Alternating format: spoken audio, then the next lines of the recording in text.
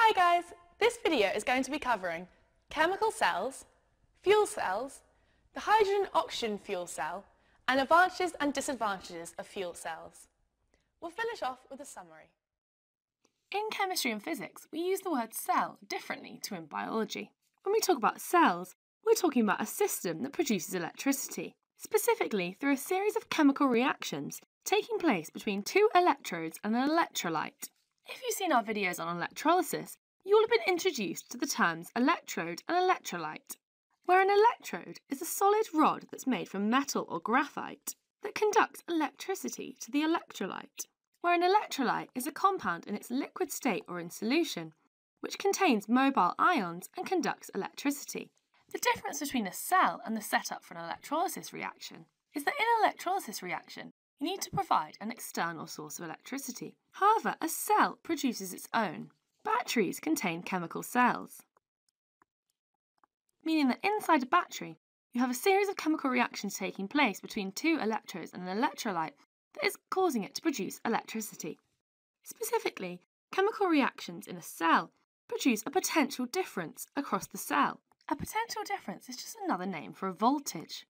If a voltage is set up across the two electrodes, and the cell is then connected to an external electrical circuit, this potential difference will allow a flow of charge, causing a current to flow through the cell.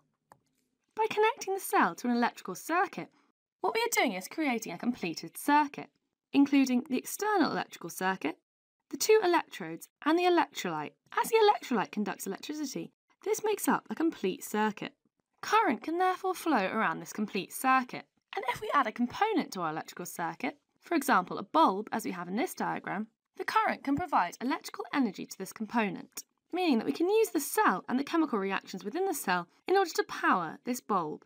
A current will flow through the circuit and through the cell until one of the reactants within the cell is completely used up. We will observe this as the battery going dead, as the chemical reactions that produce electricity will stop. One useful specific type of chemical cell is a fuel cell.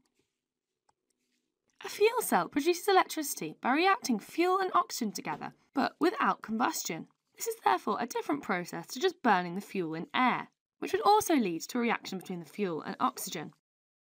For example, hydrogen oxygen fuel cells react oxygen with hydrogen in order to produce electricity. And we can see a representation of what happens in a hydrogen oxygen fuel cell in this diagram. The electricity produced in a hydrogen oxygen fuel cell can be used to power any electrical device that this fuel cell is connected to, for example, an electric car. Hydrogen oxygen fuel cells can be used to produce electricity for any purpose. We can now look in a bit more detail at what's happening in the hydrogen oxygen fuel cell that's allowing it to produce electricity. Here we have a diagram of the cell. What you can see first is that we provide hydrogen and oxygen to the fuel cell and that the reactions that take place within the fuel cell produce water as a product. Our reactants are therefore our hydrogen and our oxygen. Our cell is connected to a circuit, and this circuit connects the two electrodes together. In this example, it is made up of wires and a bulb, and the fuel cell is therefore being used to power this bulb. What we have in the centre of the fuel cell is a membrane this membrane allows the transfer of H plus ions. And finally, we can identify the flow of electrons through the fuel cell and the external circuit. These are produced in the chemical reactions that happen within the fuel cell, and it's the flow of these charged particles that leads to the production of a current. In a fuel cell like this, the cathode is the positive electrode and the anode is the negative electrode. The charge flows from the anode, which is the negatively charged electrode on the left hand side, where electrons are taken away from hydrogen, round to the cathode, which is the positively charged electrode, on the right hand side. This is where electrons are given away to the oxygen reactant or the water product. If you've watched our videos on electrolysis, you might be thinking this is the wrong way round. And this is because we name the electrodes in a different way for a fuel cell to an electrolysis. And for a fuel cell, we name the electrodes the opposite way round to that we do in electrolysis. This is because in electrolysis we don't produce electricity. We instead provide electricity from an external source. In fact, this electricity comes from a cell.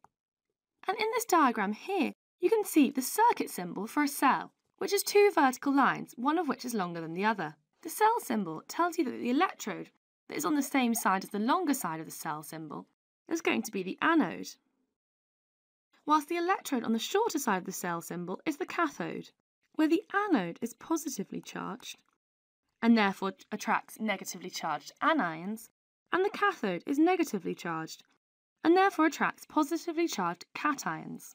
However, in an electrical cell, when you produce your own electricity, the cathode is a positive electrode and the anode is the negative electrode. Therefore, in the fuel cell, the anode, which is the negative electrode, has an excess of negatively charged electrons.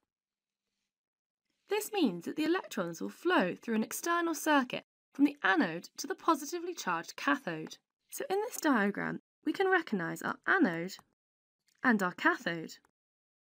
And we know that our anode is going to have an excess in negatively charged electrons, giving it an overall negative charge, and that these electrons will therefore flow through an external circuit via a bulb which they will power to the positively charged electrode, the cathode.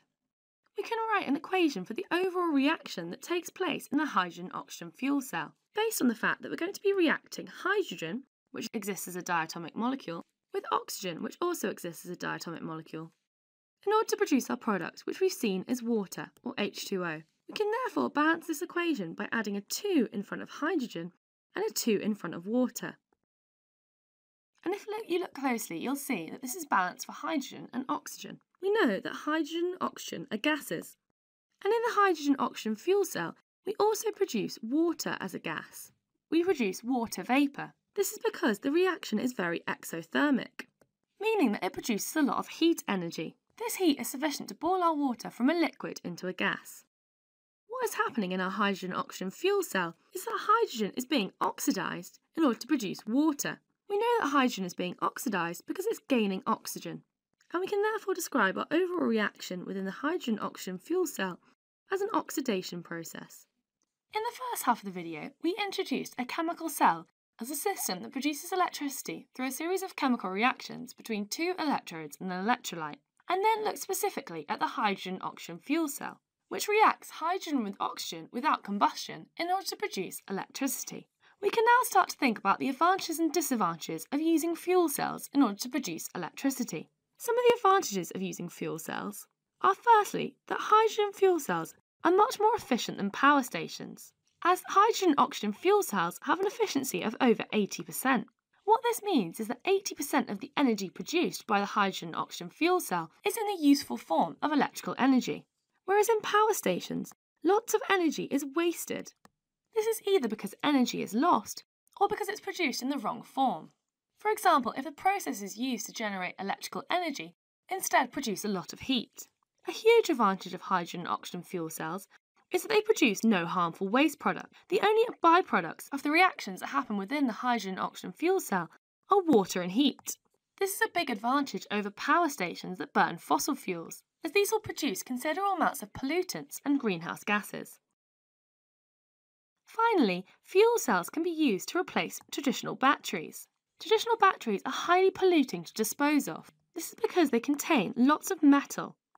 For example, cadmium, lead and mercury. They also contain acids, and therefore batteries need to be disposed of carefully, as the metals and acids can affect the environment if they are exposed to it. However, hydrogen oxygen fuel cells are much better because they just contain hydrogen and oxygen, and as we've said, they just produce water and heat. However, there are some downsides or difficulties to using hydrogen oxygen fuel cells. For example, hydrogen gas is very explosive, this can make it very difficult to store it safely, especially considering that the hydrogen oxygen fuel cell itself produces heat, which will increase the risk of explosion. Secondly, hydrogen oxygen fuel cells require a constant supply of hydrogen, and this hydrogen needs to be produced either from the burning of hydrocarbons or through electrolysis. Unfortunately, the hydrocarbons that need to be burnt to produce hydrogen often come from fossil fuels. And fossil fuels are a finite resource. Also, the burning of fossil fuels will produce pollutants. Alternatively, hydrogen can be produced through an electrolysis process. However, this electrolysis process requires lots of energy, and the production of this energy is likely to come from the burning of fossil fuels, So we'll have the same problems with fossil fuels being finite resources and that the burning of them produces a considerable amount of pollutants. Therefore, even though the hydrogen oxygen fuel cell doesn't produce any pollutants when it's used, the production of the hydrogen for the fuel cell is likely to. The third disadvantage of the hydrogen oxygen fuel cells is that they are new technologies, and that our current cars are designed to run on petrol or diesel, for example. It can be expensive to develop and install the necessary technology that's required in order for us to use fuel cells. For example, it can be difficult to figure out how to store our hydrogen safely. So far, we've seen that within a hydrogen oxygen fuel cell, hydrogen is oxidised in order to produce water. More correctly, we can describe the reaction in a hydrogen oxygen fuel cell as a redox reaction, as we don't only have the oxidation of hydrogen to produce water, but our hydrogen is also reduced. When reduction and oxidation happen simultaneously, we can describe that reaction as a redox reaction. Let's look at what's happening at each of the electrodes within the hydrogen oxygen fuel cell. If you remember from earlier in the video, we labelled our electrode as our anode on our left hand side, which is our negatively charged electrode in a fuel cell, and our cathode on the right hand side, which in a fuel cell is our positively charged electrode. Remembering this is the other way round to an electrolysis reaction. Our anode is negatively charged because it has an excess of electrons. This is because at the negative anode, hydrogen loses electrons in order to form H plus ions. And these electrons that are lost from hydrogen therefore instead present at the electrode, giving it its negative charge. We can write a half equation for what's happening at the anode, remembering that hydrogen exists as a diatomic molecule. What will happen is that our hydrogen is going to form instead two H plus ions, and that in order to balance charge, we're also going to produce two electrons, which I'm going to write here using the shorthand E minus. If you've seen our video on reduction and oxidation reactions, you'll note that we can describe any process in which electrons are lost as an oxidation, and therefore here we would describe the hydrogen as being oxidised as it's losing electrons. So how about at the positively charged electrode, at the cathode? At the positively charged cathode, oxygen gains electrons from the cathode and reacts with H plus ions from the electrolyte in order to form water. A hydrogen oxygen fuel cell is designed with this membrane in the middle, which allows the transfer of H plus ions from the anode to the cathode. At the cathode, we also add in oxygen. So we can start by writing our half equation by adding our diatomic molecule of oxygen. What happens is this oxygen reacts with H plus ions from our electrolyte, where our electrolyte is present within this membrane, in order to produce water, H2O you can immediately see that one molecule of oxygen is going to produce two molecules of water in order to balance our oxygens, and therefore that we need to react our one molecule of diatomic oxygen with four H plus ions in order to produce our two molecules of water. Finally, we need to add electrons in order to balance the charge. And as we have four positively charged H plus ions, we need four negatively charged electrons in order to give the reactant left hand side an overall neutral charge the same as the right-hand side product side. We can therefore see from this half equation that oxygen is gaining electrons from the cathode and reacting with H plus ions from the electrolyte and making water. Oxidation is loss of electrons and reduction is gain of electrons.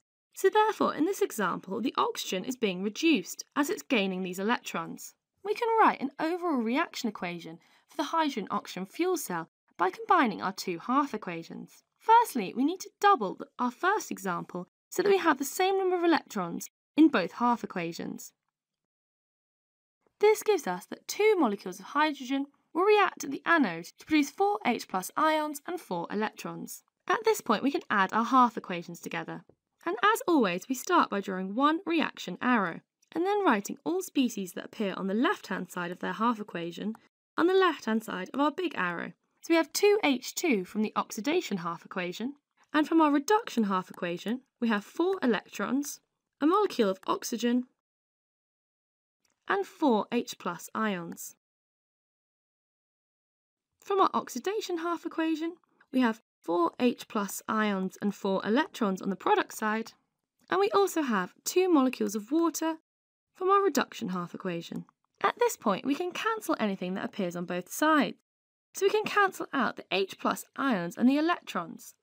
And then you can see that this gives us the overall reaction equation for the hydrogen-oxygen fuel cell, which is that two molecules of hydrogen react with one molecule of oxygen in order to give two molecules of water. Where in this fuel cell all substances are in the gas phase. The important point is that our hydrogen is oxidised as it loses electrons and simultaneously our oxygen is reduced as it gains electrons. And this transfer of electrons allows electrons to flow through the fuel cell and the external circuit, therefore providing a flow of current and a source of electricity. Hey guys, I hope you enjoyed the video. If you are looking for an amazing GCSE chemistry resource, join me today in my series of engaging bite-sized video tutorials. Just click the SnapRevise smiley face and together let's make GCSE chemistry a walk in the park.